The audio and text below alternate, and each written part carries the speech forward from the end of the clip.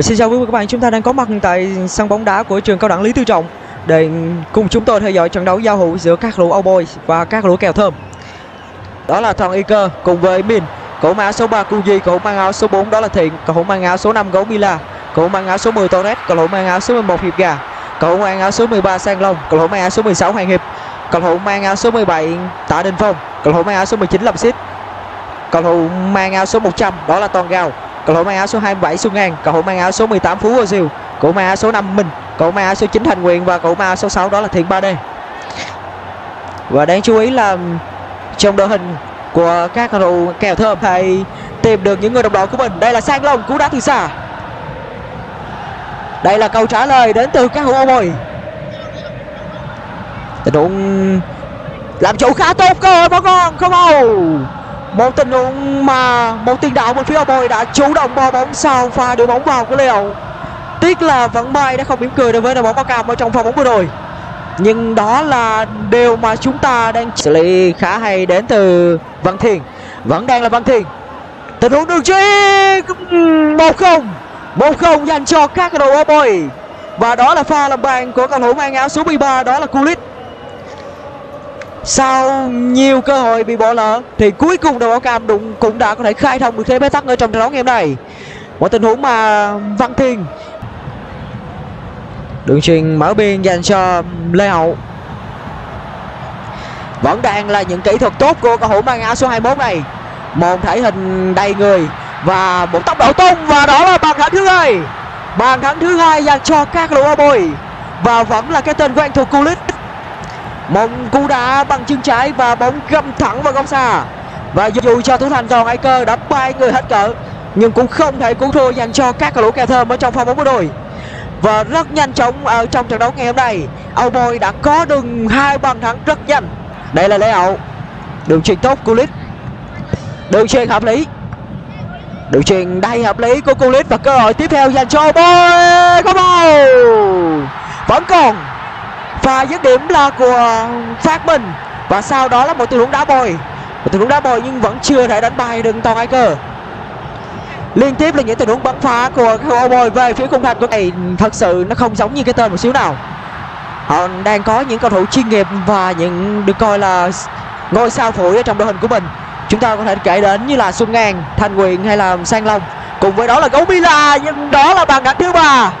Thêm một bàn thắng nữa dành cho các lỗ bồi và đó là pha làm bàn của Văn Thị. Không biết là chuyện gì đang xảy ra Đối với hàng phòng ngự có kèo thơm ở trong những phút qua của trận đấu này. Họ đang để cho đối phương ghi liên tiếp 3 bàn thắng tương đối dễ dàng. Xuân An. Vẫn đang là Xuân An. Vẫn thêm một tình huống keo áo. Và lần này đó là pha phạm lỗi của Phát Minh. Đứng trước bóng vẫn đang là hai cái tên quen thuộc, Xuân An cùng với Thanh Nguyện. Góc đá lần này có vẻ như sẽ là một tình huống sút thẳng về phía khung thành của Tam Phương. Và chúng ta cùng xem, có vẻ như đó là một tình huống chạy bay, pha đá thật. Tình huống đầy táo bạo và đầy bất ngờ của Thanh Nguyện. Nhưng tiếc là bóng nó vẫn còn đi hơi cao một chút so với khung thành của Bồi. Cần những pha xử lý táo bạo và đầy tính bất ngờ như vừa rồi. Trận đấu đang được tiếp tục. Không có tiếng còi nào của trọng tài được cất lên. Các bóng tung đến từ văn thiên. Một cú đá từ xa, khá nguy hiểm. Đó là pha ra chân nhanh của nhật quang. Nhưng trong pha bóng vừa rồi thì thủ thành toàn ai cơ cũng đã chủ động đổ người. Những cú đá từ xa. Đội hình đang khá mới của Âu Bôi ở trong hiệp đấu thứ hai này gần như là họ mang đến sân với hai tổ đấu, hai tổ đấu sân bảy của mình. Đây là gấu Mila. Đường truyền khá hay, vẫn còn không vào tình huống chạm bước môn và thực hiện một cú đá ngay đến từ Hoàng Hiệp. Một tình huống đầy tính sát thương của kèo thơm.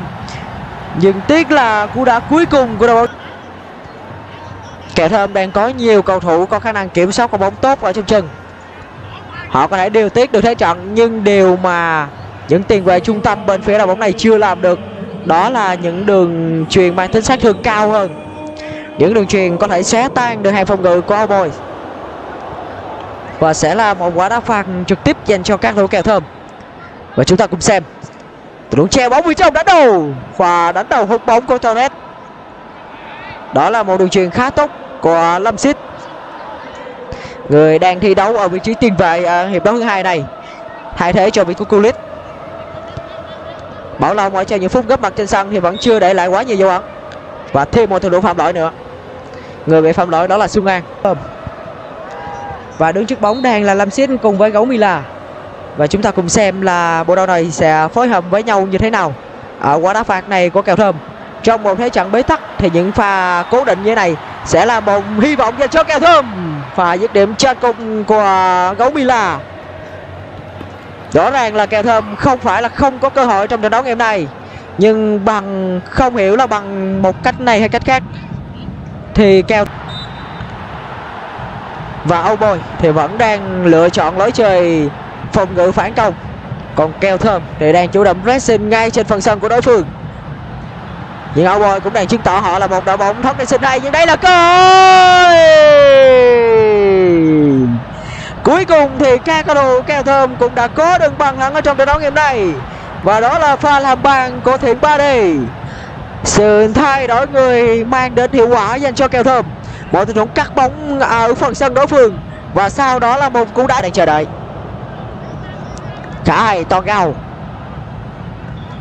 những pha tì đè nó khá giống với bộ môn bóng đá futsal và vừa rồi thì toàn gào vẫn đang bị kèm cặp rất sát lấy đà rất xa.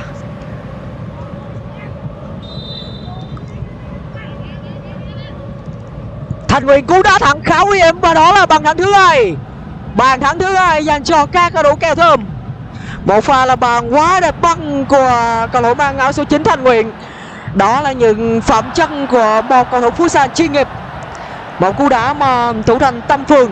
Dù đã chạm tay được vào bóng nhưng cũng không thể cứu thua dành cho Bôi. khá nhiều. Không có tiếng gọi của trọng tài hiệp ga. Đây là đình phong vẫn đang là đình phong không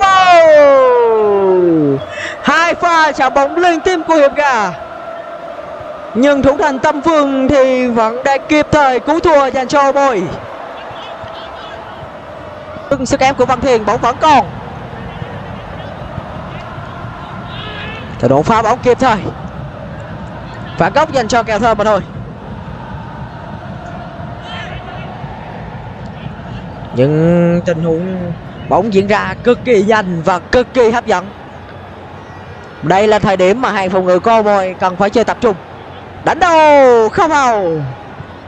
Và chạm đầu là của toàn cao cầu thủ có thể hình cũng như là chiều cao cực kỳ lý tưởng với những pha đánh đầu như vừa rồi.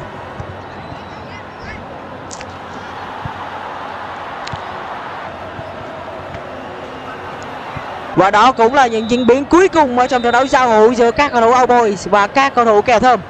Trận đấu xếp lại với chiến thắng toàn, tương đối vất vả 3-2 của các cầu thủ Âu Boys một trận đấu giao hữu mà Âu Boys đã có thể trả được bóng đầu ở trận đấu lượt đi. và...